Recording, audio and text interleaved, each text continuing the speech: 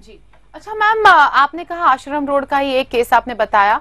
Ma'am कोई भी क्योंकि अहमदाबाद सिर्फ़ हम अहमदाबाद की बात करें तो अहमदाबाद बहुत बड़ा शहर है। उसमें अगर किसी कोने में कहीं पर होता है उसमें अगर 10 मिनट 15 मिनट में किस तरह से पॉसिबल होता है पुलिस पीसीआर के लिए कि वो वहाँ तक पहुँच पाए?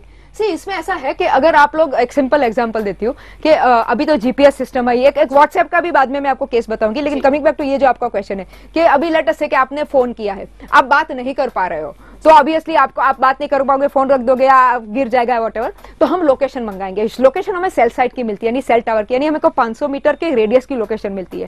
अब मैंने आपको पहले भी बताया कि हमारी PCR police control room van जिसे कहते हैं एटी पीसीआर अहमदाबाद में घूम रही है। तो हर एक एरिया में दो दो तीन तीन जो मेन मेन चौराहे पे होती है वहाँ पे खड़ी रहती है पीसीआर वैन तो जैसे ही हमें लोकेशन आती है तो हमारी वो पूरी सिस्टम है। हमारे यहाँ भी जीपीएस सिस्टम है हमारे पीसीआर वैन जीपीएस से कनेक्टेड है।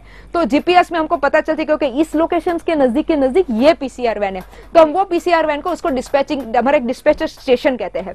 तो डिस्पैचर स्टेशन से हमारे वह वायरलेस सिस्टम के थ्रू उस पीसीआर को कनेक्ट किया जाएगा कि यहाँ से कंप्लेन है यहाँ से प्रॉब्लम है आप सायरन बजाते जाइए क्योंकि वो पूरा एरिया उसको स्कैन करना पड़ता है। तो इसलिए और अगर कई बार गंभीर जैसे कि मैंने नहीं पता उस दिन के गंभीर प्रॉब्लम था तेल वाला तो हम दो गाड़ियाँ एक साथ भेज देते ताकि क्या कहीं कोई मिस ना हो जाए या जितना जो जल्दी पहुँचे सही।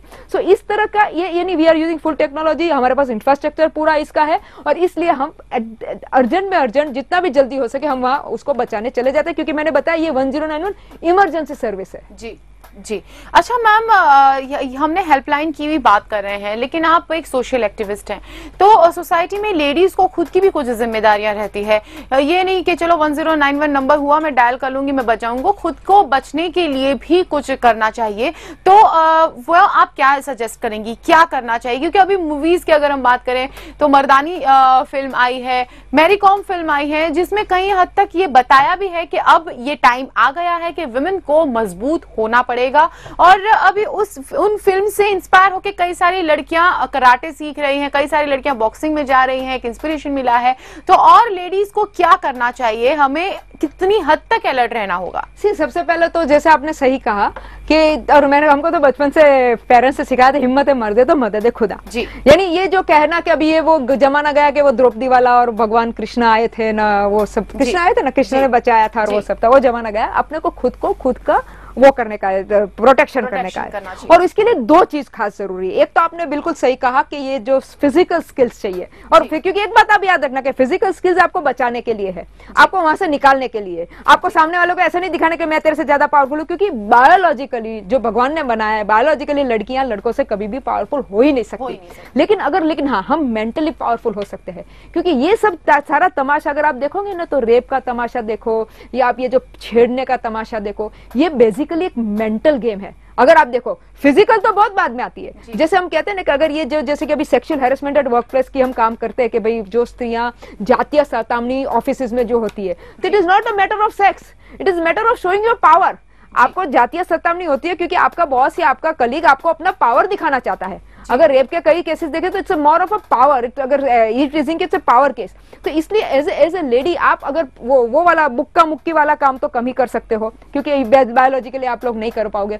लेकिन अगर आप अरे आप मेंटली स्ट्रांग हो जैसे कि मैं आपको सिंपल से एग्ज़ाम्पल बताती हूँ कि बहुत बहुत इट्स अ साइकोलॉजिकल चीज़ आती है अभी तो कि जो परपेट्रेटर परपेट्रेटर यानी जो हैरान करने वाला होता है वो अगर लेटर से अगर आप उसकी आँख जैसे कि अगर वो आपको छेड़ने की कोशिश कर रहा है आपके पीछे पड़ रहा है और अगर आप उसकी आँखों से आँखें मिला के देखोगे तो वो भाग जाएगा वो डर जाएगा। वो इसलिए डरेगा क्योंकि उसको पता है कि आज ये बहन ने मुझे पहचान लिया है तो कल अगर किसी दिन मैं पकड़ा है तो बहन मुझे पहचान लेगी और मुझे सजाओगी एक नंबर पॉइंट ये है।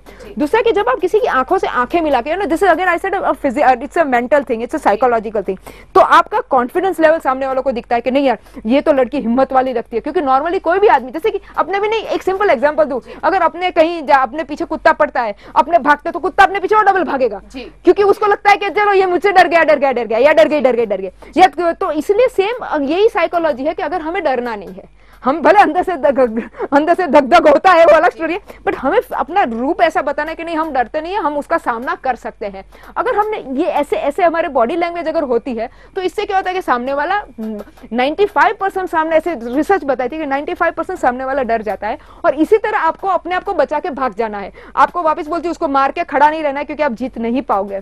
तो ये ये मेंटल स्ट्रेंथ बहुत ही इंपॉर्टेंट चीज़ है और कॉन्फिडेंस बहुत इंपॉर्टेंट चीज़ है कि अगर लेट्स अगर आप कहीं रास्ते में जा रहे हो तो नॉर्मली हमारी लेडीज़ की ये थोड़ी गंदी आदत है पर्स के साथ खेला या यू नो थोड़ा मीन्स अपना ध्यान रास्ते पे रखो और फटाक से वहाँ से निकल जाओ। क्योंकि अगर आप ये पर्स के साथ मोबाइल के साथ खेलोगे तो सामने वाला उसका मौका नहीं लेगा आपको टच करने में या आपको वो जो छेड़ छेड़ा करने में। इसलिए ये सब पॉइंट्स हमारी लेडीज़ और ये हम ही कर सकेंगे।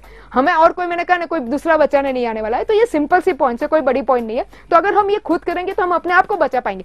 तीसरी इंपॉर्टेंट पॉइंट कि मान लो कि आपने किसी और को भी एग्ज़ाम्पल दे रही हूँ, कि मान लो आप जा रहे हो और कोई कोई बेचारी किसी लड़की को छेड़ रहा है तो मुझे ऐसे कहना है कि आप उस लड़की के साथ खड़े हो जाओ।